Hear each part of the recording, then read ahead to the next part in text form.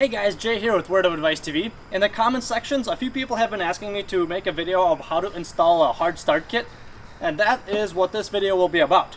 Now, if you're wondering why do you even need a hard start kit, or when do you ever need one, I read an article online before I made this video, and I couldn't have said it better myself, so I'm just going to read their list real quick.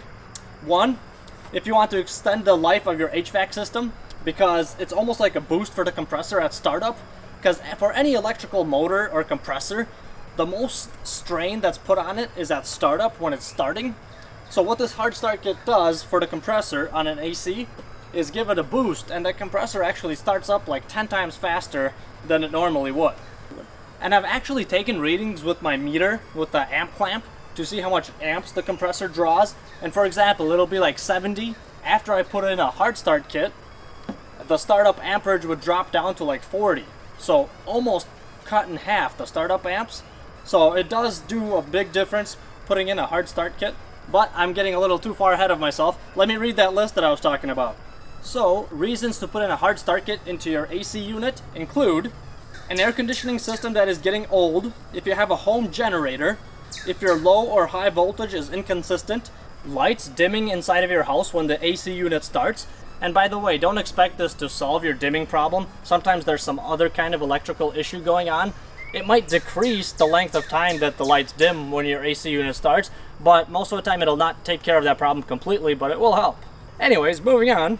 If your compressor won't start and is just humming like it's trying to start, and you've already replaced your capacitor, if your AC system has a TXV metering device, you should have a hard start kit. If you have multiple ACs running at once, if your air conditioner trips breakers occasionally, or if you have long refrigerant line sets. And what it means by long refrigerant line sets is between your condenser unit outside and the A coil inside, which is usually on top of your furnace or below it, or to the side, depending on what setup you have. If the distance is pretty far, like 50 feet, that's quite a long line set, then you may want to have a hard start kit in there as well because the compressor has to work harder to push all that refrigerant back to your A coil. So those are most of the reasons why you would want to put in a hard start kit. And most of the new ones, this is a hard start kit right here, will look like this. The potential relay is actually internal to this thing. But if you look at my unit, for example, mine, my unit came stock with a hard start kit and a potential relay. This is how they used to look. What this relay does is it keeps the start capacitor in the circuit only for the startup of the compressor. So actually it's only in the circuit for probably less than a second.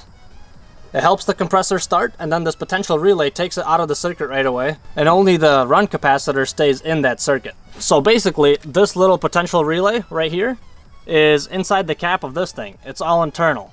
That's why it's called a hard start kit. And by the way, if you see there's a screw hole right in top of here, the way you would put this in is literally inside anywhere of your electrical section where you have room. Like for example, I could put mine right here. You just put a screw in there and screw it right into your cabinet. Just make sure you don't have any coils on the other side of wherever you're screwing this in. And yes, I know my coils look a little dirty. The cotton seeds or cottonwood seeds are doing their job. I also, just so you know, um, it works nice if you pre-drill this or put a screw in it first and then take it out because sometimes if you try try to go straight in this thing will crack. Also there's a clip. This isn't as good but if you have no room to put it anywhere uh, you could just clip it to a couple of wires so it's hanging in midair. Now as for wiring the thing as you can see this one is very simple. It just has two wires. And the reason that this one has a spade or a splitter I should say is because sometimes your common section on your capacitor, you can get a capacitor like this off of Amazon. Same box, made by Supco. Your capacitor sometimes will have all the spades used up, so other wires go into it. In that case, you would take one wire off, put this one in, and then you can put the wire that you took off right back on.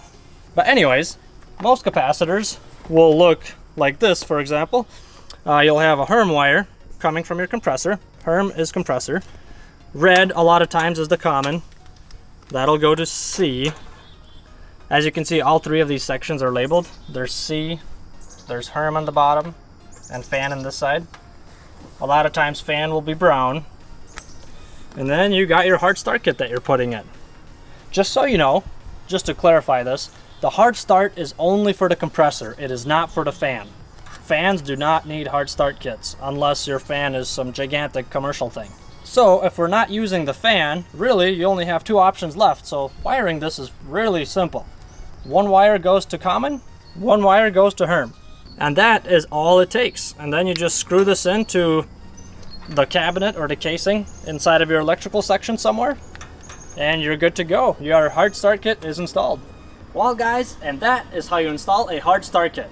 Hopefully you found this video useful. I thank you so much for watching. Don't forget to mash that like button on the way out and we'll see you next time.